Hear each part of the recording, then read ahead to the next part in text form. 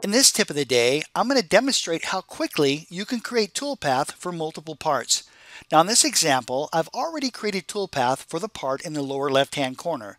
What I've done is I performed a slot milling operation, and I've also performed a profile around the outside. Now if I want to create toolpath for multiple parts, very simple. Just take your cursor to the NC Manager, double click on your toolpath group, and then what you want to do is select the option here called multiple parts. Now for this example, I'm going to use standard repeats, one work offset. I'm also going to use this option called copy array. What we're going to do is this. We're going to say that the number of parts in Y is 3, and the distance between those parts is 3.5 inches. Same thing for X. Number of parts in X, that's going to be 2, and the distance between those parts is 5.5 inches. Going to click OK to that. Now what you can see now is there's all of our repeats. And what we need to do now is set up our work offset.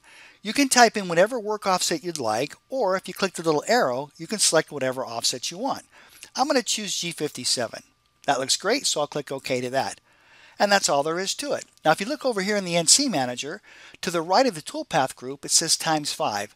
That just means that there's 5 repeats. So you have the original plus 5 repeats equals 6. Now if we want to preview this, we're going to right hand mouse click on the toolpath group and we're going to select preview toolpaths. So here we go. Here's the slotting operation on all six parts. And now here's the profiling operation on all six parts. Creating toolpath for multiple parts within OneCNC is very quickly accomplished, very easy to set up. Thank you so much for watching. I look forward to seeing you in the next tip of the day.